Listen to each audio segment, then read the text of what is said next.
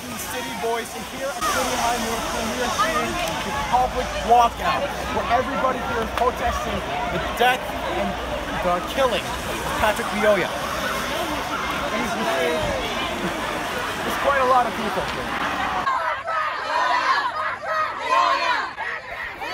Protests against police brutality have swept through the nation in the recent years, and many students here today say that they would have never imagined something such as this happening to their very own community of Grand Rapids, Michigan. There was a shooting in our city. Like we've heard about George Floyd all the way in Minnesota, but this is happening in Grand Rapids.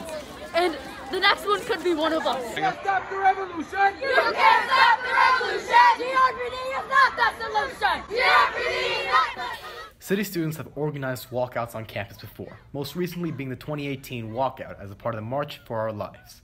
But this is the first time city students have organized to protest racial injustice. Many here say it's about time. We want justice and we're tired of asking for it.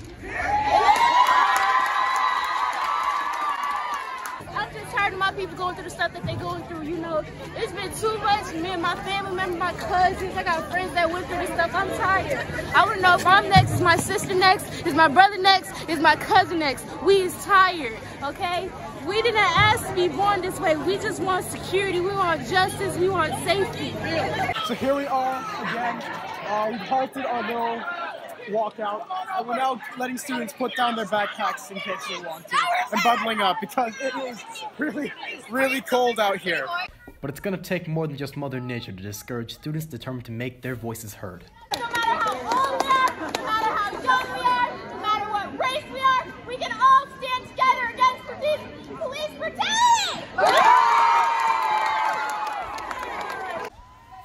That spirit of unity is strong here today with hundreds of students locking arms here in front of the school.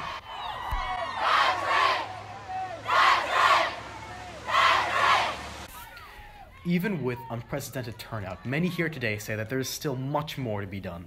We can do more, we will do more! We can do more, we will do more! We can do more, we will do more! We can do more, we will do more! We can do more, we will do more! Your voice matters. You should be out here. With all this demand for change, what exactly do the students think can be done to change the policing system of America? For the Grand Rapids Police Department, what do you say we should change about it? Um, just the training and how to approach some situations because sometimes police are needed, but not to um, promote violence or like make it worse.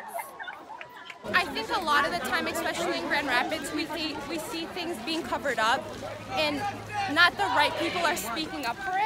And I think we just need to like unite voices to really uncover that injustice so things can get better. After me! So who are the students who united everyone here today? I feel like like I needed to do it because like like people younger than me, uh, it's gonna affect them. It's gonna affect me. It's gonna affect people older than me too. Like I just I feel like it needed to happen. Even if you couldn't come today, if you couldn't come today, um, they got they got um, protests at Rosa Park every day at five. Uh, you could uh, you could sign petitions. You could you could post about it. Just do whatever you can to spread it and, and, and do your part. I guess they need to understand that people people are scared of them. Like people going like not everybody gonna be like like super calm in that moment of getting pulled over and like they didn't under, they didn't have like police training to understand that people are scared and like you don't have to always like you don't have to do the most radical things to like like calm down situations. and that our skin is not a weapon. We can be carrying around no weapon, and just because we're black, then that means that we're being weaponized, and we're really not. You saw kids out here from every race that came out here, and not one bit were any of us threatening anyone. We are here, and we're gonna show up no matter what race, no matter what identification. Listen, we're gonna start walking up, but first we're gonna do a new chant, so everyone listen up! If we have to show up to school every day while people are being killed, then we're gonna show up to school and we're gonna do what we know best, and we are going to show everyone that this is what we need. We need justice, and we need it now.